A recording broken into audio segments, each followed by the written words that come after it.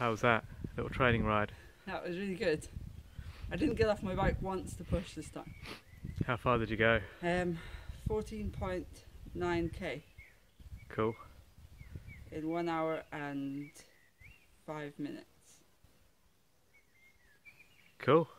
How does Yeah, that? How did it good. feel? It felt fine. Don't feel Yeah. tired. Yeah. So good. So this is the first week of training, pretty much. Yeah. Yeah. How- This is the first How many k's? week. How many k's do you think you've done? Um, I've done 57. 57 57 kilometres this week. That's Yeah. pretty good. Pretty good the for the was first 50. week. Yeah. So already beat that by seven. Nice.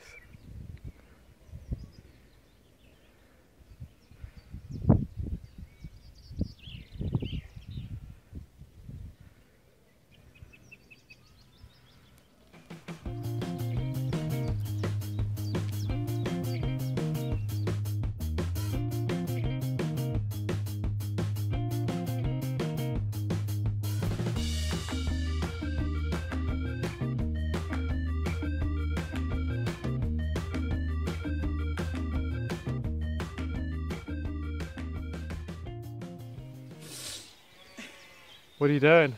I'm warming my fingers up. They're freezing. really cold.